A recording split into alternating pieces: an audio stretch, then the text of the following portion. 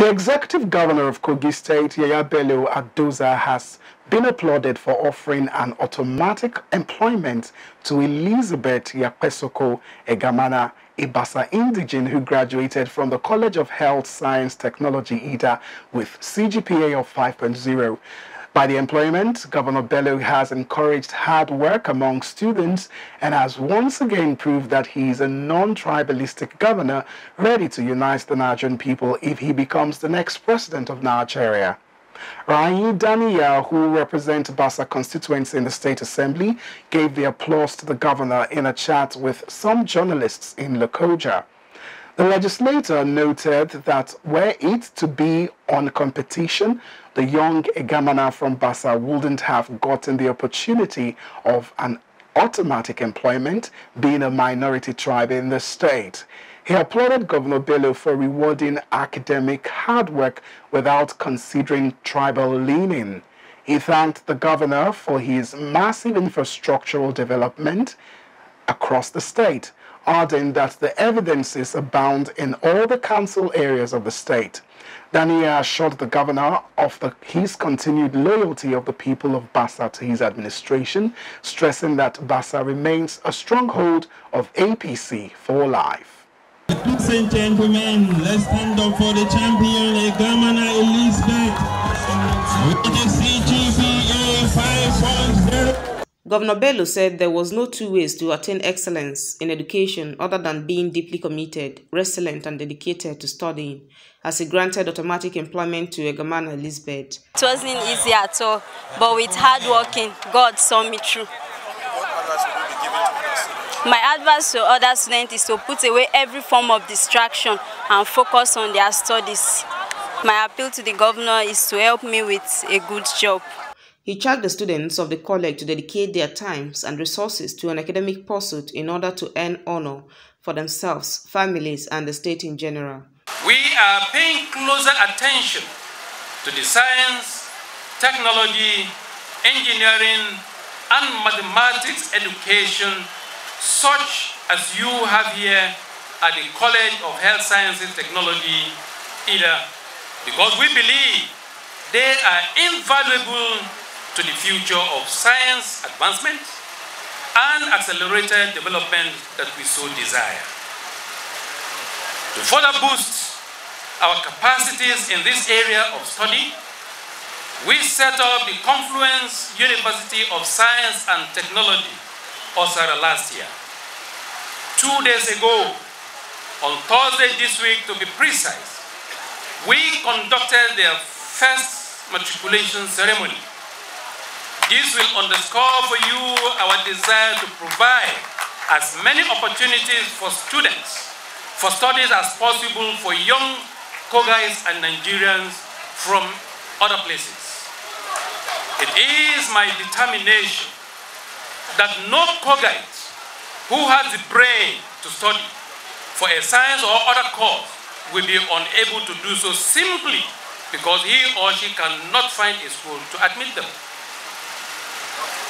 I thank the entire school administration under the visionary and able leadership of the provost, Comrade Dr. Solomon Anyegu, for a job well done. Please, my dear brother, keep it up. I felicitate with the graduates. Go and conquer a world. Represent us well but above all, your own self. Be true. Before I conclude, distinguished ladies and gentlemen, I seize this opportunity to pronounce immediate employment into the Kogi State Specialist Hospital Engamana Elizabeth, the medical laboratory graduate technician who came overall best in just the concluded season. I congratulate you and I urge each and every one of you to put in your best.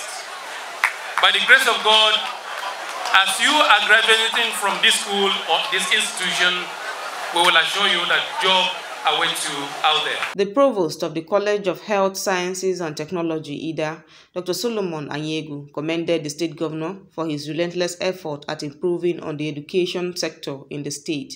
Reasons not far-fetched, lack of basic facilities and inadequate funding for these years. This present administration of the state, led by our education and friendly uh, executive governor of Kogi State, Alhaji Ayab uh, Bello, and the administration of the college from 2016 today, led by my humble self, Comrade Dr. Nuhu Solomon Anyegu, have changed the narratives because of infrastructural, administrative, and academic transformations. Achievement of the present college management. All the courses of this institution has been successfully accredited by the various regulatory councils. The National Diploma in Environmental Health Technology, Health Information Management have been granted interim accreditation by National Board for Technical Education. This has been non-existent for 45 years. But today, under your administration, we have been able to secure substantive accreditation. We have been able to get interim National Board for Technical Education. The college name has been enlisted into JAM, and so we have come to the national limelight. Kudos to Your Excellency. He made requests for more infrastructure within the premises. Establish water factory, sachet water factory that is uh, actually approved by NAFDAC and was given a special logo by the Federal Ministry of Investment, Healthway Water. The dualized college main streets and the installation of four-way garden light. This place used to be like den of thieves and den of robbers because there was total darkness. But under this regime, the, the, the major street has been dualized and the four-way garden light has been installed. And uh, I want to believe that His Excellency will do justice to it less than a kilometer of this road. I want to believe before His Excellency move from DC to the President of this nation, this road will be wonderfully tarred. The construction of over 350 benches and desks for students, the construction of roundabout with student stature in academic we established Entrepreneurial Development Center, constructed an ultra-modern college clinic, which has been named after the wife of His Excellency Hajia Rashida Bello Ultra-Modern College Clinic. I think in some quarters, those that have gone there said, I think it is qualified to be called a medical center if it is properly equipped. Kogi State government renovated, remodeled, and equipped the college medical laboratory to a world-class standard. Today, any type of test can be carried out in that medical laboratory because we have seasoned medical laboratory scientists. We have parasitologists, microbiologists, hematology, different types of health professionals in uh, the field of uh, medical laboratory sci sciences. I believe that when tests are conducted there and the people move to the clinic, we will as well be serving the immediate community. The governor, who is passionate about encouraging the best of students, and creating an atmosphere for learning, gave express approval, noting that the provost and the management of the institution have done very well with the little resources at their disposal. The provost appealed to me a while ago, and we approved the migration to CONHESS for them during one of our visits to the institution. I believe that what is remaining now is implementation. Let me assure them that it won't be long from now. Indeed, the Honorable Commissioner for Education mentioned a while ago how many percentage for education? We are dedicating 30% of our 2022 budget for education.